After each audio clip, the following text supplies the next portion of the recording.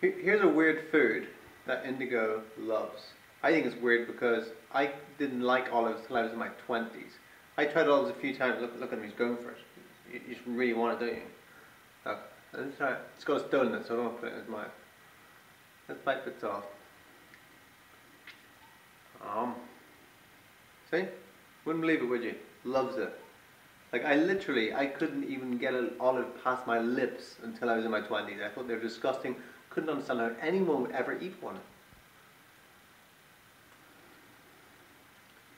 And he just loves them.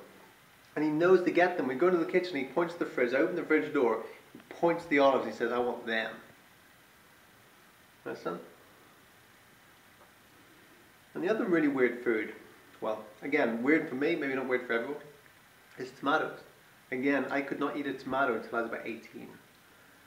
Raw tomatoes. He loves them. Like two of his favorite foods are tomatoes and olives. I don't know.